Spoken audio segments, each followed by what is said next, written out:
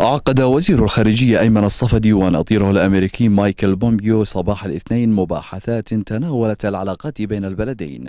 وقال بومبيو خلال مؤتمر صحفي عقب المباحثات أن الأردن والولايات المتحدة وقعتا على مذكرة تفاهم بشأن مساعدات سيتم تقديمها لعمان خلال السنوات الخمس المقبلة.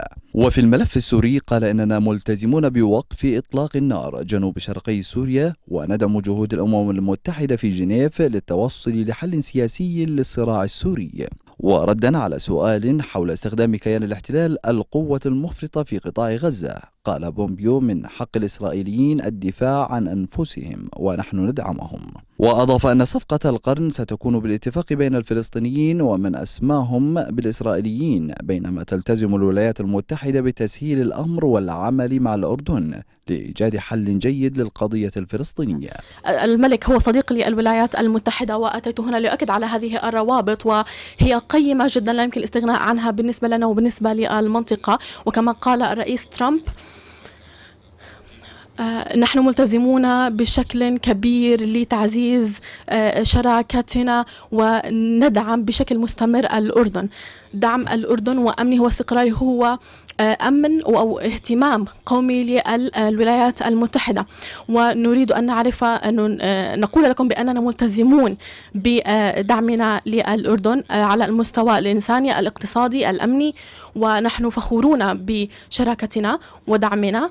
والولايات المتحدة وقعت مذكرة تفاهم لمدة خمس سنوات. كمساعدات ثنائية إلى الأردن للخمس سنوات القادمة وهذه الزيادة جاءت في الوقت الذي يواجه فيه الأردن آه، آه، صعوبات على الحدود آه، بسبب الأزمة السورية التي تهدد الأمن الأردني. ونحن نحاول أن نساعد الأردن على الدفاع عن حدوده.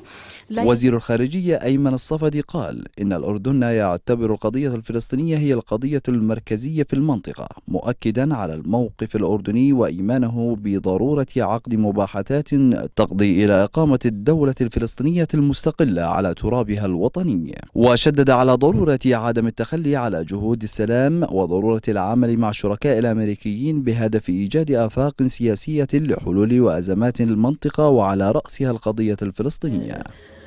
لقد قمنا بالكثير من الأعمال الجيدة في أوقات الشدة على الأصعدة المختلفة الأمنية وغيرها ولدينا أهداف مشتركة. أنت هنا صديق ونرحب بك الآن.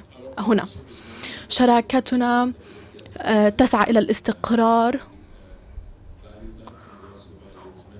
ونحن نقدر ذلك ونقدر جميع الجهود التي تقدمها الولايات المتحدة لخدمة الأردن. وقد وقعنا مذكرة التفاهم الأولى ضمن رئاسة الرئيس ترامب وهي مهمة جدا بالنسبة لنا للقيام بالإصلاح الاقتصادي لتمكيننا من تحقيق التطوير والتنمية والأمن في الأردن. ونشكرك جدا على ذلك. أيضا تحدثنا عن الكثير من التحديات والقضايا التي نعيشها ونواجهها نواجهها وقد ركزنا على كيفية الاستمرار في آه، آه، آه، إيجاد السلام والازدهار في المنطقة والتعاون لحل الكثير من الأزمات.